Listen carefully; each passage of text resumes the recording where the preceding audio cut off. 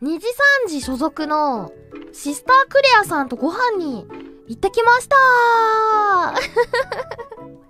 クレアさんとなんで仲良くなったのかっていうと、あの前にね、出演したスバルちゃんと一緒にしたプロジェクト V でね、一緒に共演したんだけど、そこからこうクレアさんが、おかゆちゃん、よかったら LINE 交換しない？って言ってくれて、LINE を交換して、そこからちまちまちまちま LINE を交換というか、してたんだけど、それでね、こうよかったらご飯に行きませんか？みたいなこうしてくれてて、で僕も、あ、行きたい行きたい！ってなってご飯に行ってきました。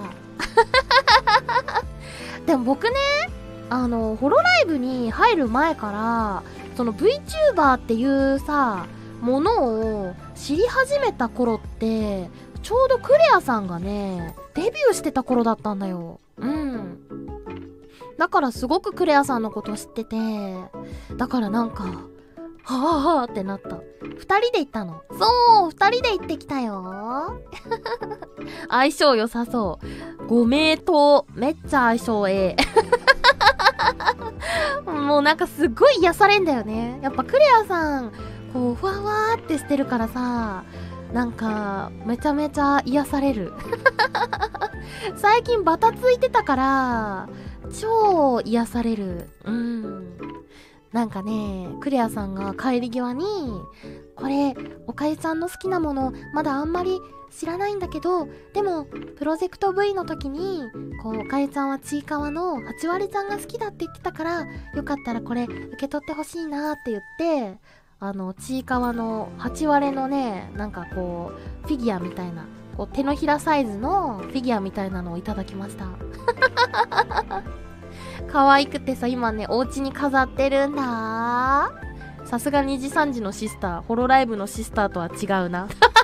ホロライブのシスターってホロライブのシスターじゃないじゃんだって。シスターマリンかっこシスターじゃないみたいなやつでしょそれ。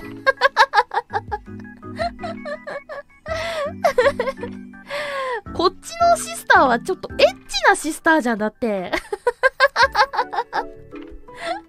まあでも、クレアさんもね、あのコラボの、そのプロジェクト V の時にね、あの、オフの時間だったかに聞いたけど、クレアさんも中に、あれなんだろう、ガーターソックスみたいな、ガーターベルトみたいなのがついてるからさ、ククレアさん、このベルトはみたいな話は確かにしたけど。そうそうそう、確かにその話はしたけどね。うん。いや、でもすごいね。楽しくて。で、僕すごい感動したのがね、なんか、そのお土産？ちいかわの手のひらフィギュアをもらって中を開けた時にお手紙も一緒に入っててさ。でそのお手紙がなんかおかゆちゃんと一緒に前に共演できてすごく嬉しかったよみたいな。で追伸。おかゆちゃんの歌枠の「春を告げる」がすごく好きなのでよかったらまた歌ってくださいって書いてては本物や。本物や偶性やってなってもう溶けてたっていう。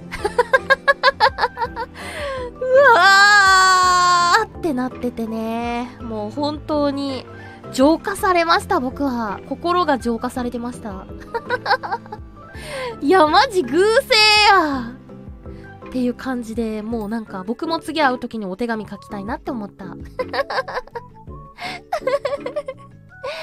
いやーね、便箋まず持ってないから、便箋買ってこない